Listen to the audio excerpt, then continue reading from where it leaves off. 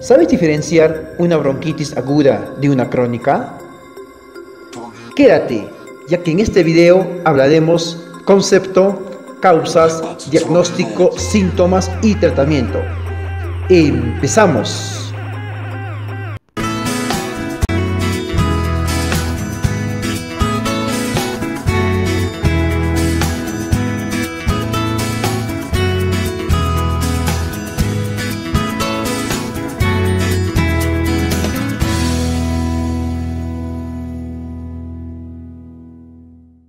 Bronquitis.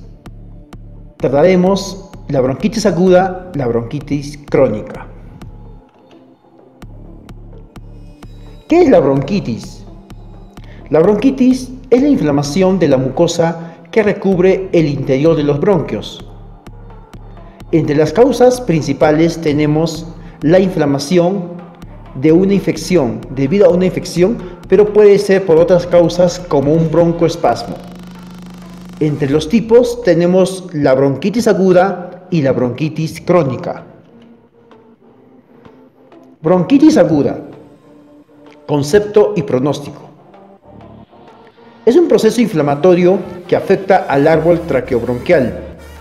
Los síntomas desaparecen de 7 a 10 días aproximadamente. Población en riesgo.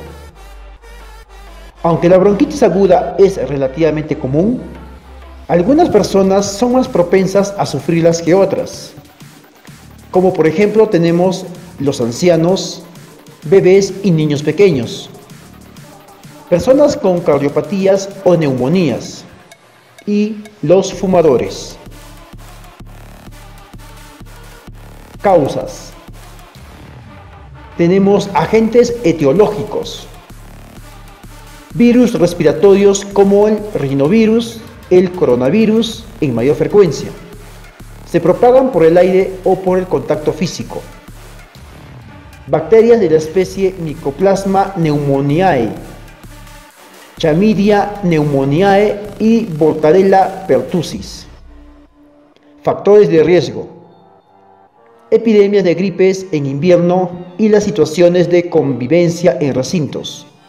Tabaquismo o padecimiento broncopulmonar crónico. Y por último, contaminación del aire, polvo, gases. Diagnóstico. Es esencialmente clínico. La existencia de infección respiratoria aguda con tos hace sospechar de la participación bronquial. Síntomas. El síntoma primordial es la tos.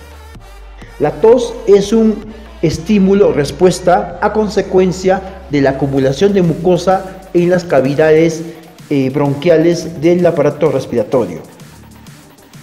En aquellos de evolución tórpida se vuelve productiva con expectoración mucopurulenta. La expectoración es fundamental en el proceso de recuperación o proceso de sanación de la bronquitis. Mediante este nosotros expulsamos la flema, la mucosidad al exterior. Para ello es necesario, fundamental, que la persona que esté enferma eh, consuma abundante agua. Molestia en el pecho y fatiga. Fiebre usualmente es baja. Dificultad respiratoria y sibilancias.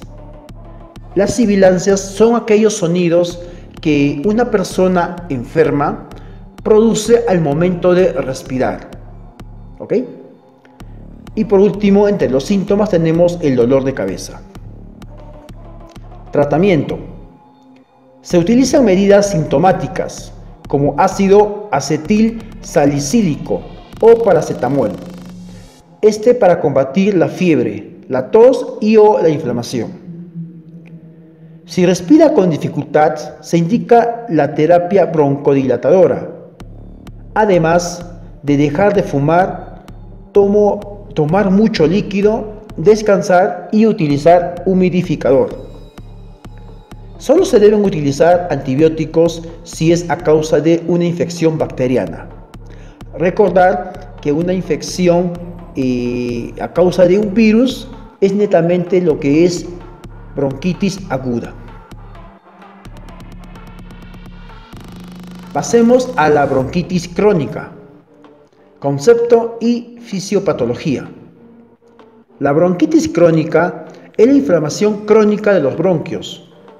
Como consecuencia de la inflamación crónica, la congestión y el edema de la mucosa, las paredes bronquiales se estrechan y se produce la obstrucción.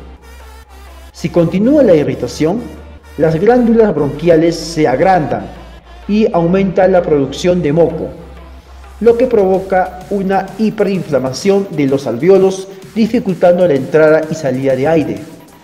Recordemos que los alveolos pulmonares son los encargados de hacer el intercambio de el CO2 y el oxígeno mediante las pequeñas arterias, ¿no? Las que botan o las que entregan el CO2 y el eh, y el aire, el oxígeno que entra, el oxígeno puro, el oxígeno sano es el que llega mediante los alveolos a la sangre. Fundamental para el proceso, eh, el proceso para que una persona esté sana. Pronóstico. Dura más de tres meses. De todos modos, va a depender de la severidad de la bronquitis. Las personas que fuman o que sufren de bronquitis crónica corren mayor riesgo de contraer enfisema. Esto quiere decir que los alveolos se inflan de modo anormal, dañándose sus paredes y dificultando la respiración. La bronquitis crónica en conjunto con el enfisema se conoce como enfermedad obstructiva crónica. Causas. Entre las causas etiológicas tenemos que son las mismas de las que van a provocar una eh, bronquitis aguda. Factores de riesgo. Empeoramiento de la bronquitis aguda. Presencia de infecciones, alergias, contaminación atmosférica y ciertas ocupaciones. Aquí en ciertas ocupaciones es necesario que una persona sepa de, sepa de qué o cuáles son los productos a los cuales es alérgico uno.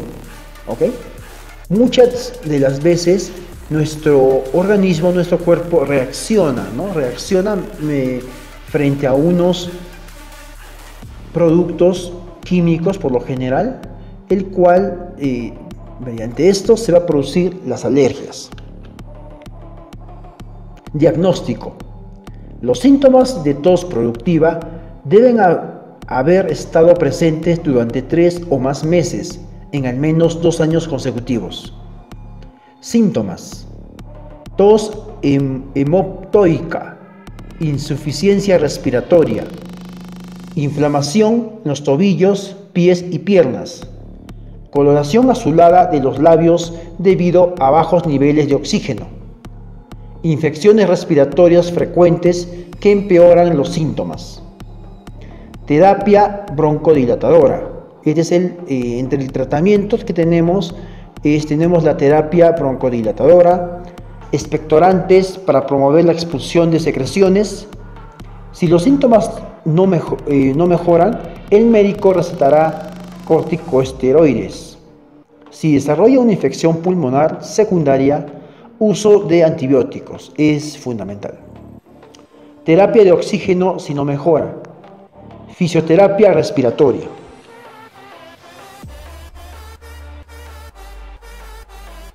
Pruebas diagnósticas. Detectar ruidos respiratorios. Auscultación de los pulmones con el estetoscopio. Esto es lo que estaba comentando, lo que estaba mencionando eh, anteriormente, ¿no? Mediante el, el estetoscopio, el médico es el que va a verificar el tipo de sonido que estamos produciendo al respirar, ¿no? al inhalar y al exhalar eh, el oxígeno. Función pulmonar. Pruebas de esfuerzo y la espirometría presencia de bacterias. Se toma una muestra del esputo, se le lleva al laboratorio y con el resultado podemos ver si es causa viral o causa bacterial. Presiones de oxígeno y CO2 y conteo sanguíneo. Esto lo vamos a realizar mediante los exámenes de sangre, también en el laboratorio. Pulsiosimetría o gasometría arterial. Y por último tenemos imágenes estructuras internas. Esto lo vamos a obtener mediante la radiografía del tórax y eh, TAC de tórax. ¿no? Realizar un diagnóstico diferencial con el fin de descartar otras patologías.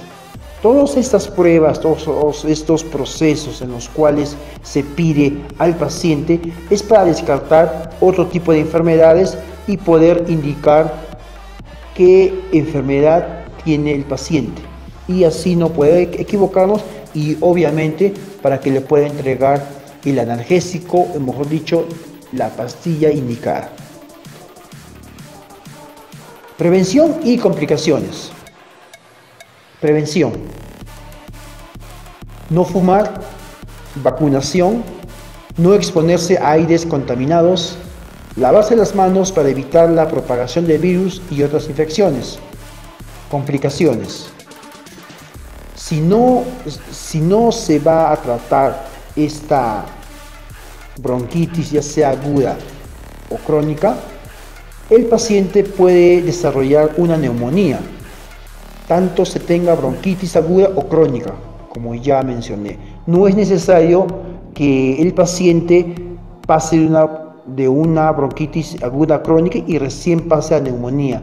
No, el paciente, aún teniendo bronquitis aguda, puede pasar o puede desarrollar una neumonía. Otra complicación tenemos la hipertensión pulmonar insuficiencia cardíaca, enfisema o otras infecciones respiratorias. Si presenta bronquitis crónica. Bueno, eh, para terminar, si el paciente tiene lo que es una bronquitis aguda, por lo general no es necesario que, que consuma antibióticos. ¿okay? Eh, ¿Cuándo sí va a consumir antibióticos? cuando el paciente desarrolle lo que es una bronquitis crónica. Una buena, un buen remedio para lo que es la bronquitis aguda es preparar la cebolla, ajo, jengibre, todo esto en rodajas y encima vamos a echar lo que es miel de abeja pura. Esto en un recipiente se guarda por un, un tiempo de dos días. Luego eh, lo dejamos en ambiente, en ambiente, no es necesario dejarlo en un frigider. Esto al pasado los dos días lo abrimos y con un colador vamos a retirar lo que es lo que es lo que ha quedado de la cebolla, el jengibre, el ajo, ¿no? Y vamos a tener en un nuevo recipiente para poner este, este líquido que va a ser mucho más diluido, ¿no? Recordemos que la miel es más, más densa, en cambio eh, el resultado de todo esto nos va a dar un líquido más diluido.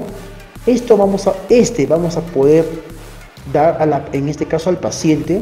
Si es un paciente niño, si es un niño, se aconseja que se dé de dos años para arriba, ¿ok? con cucharaditas, que son dos cucharaditas, entre dos a tres veces al día por un espacio de un mes. Si la persona es mayor, es adulta, se le da también dos, tres cucharadas, ¿ok? Cucharadas eh, al día, son dos a tres veces también, tres veces que sea mejor, por el espacio de un mes también, ¿ok? Eh, indicar que tanto la cebolla como el jengibre y el ajo tienen propiedades muy buenas para poder sanar, para poder acabar con esta bronquitis aguda, ¿no?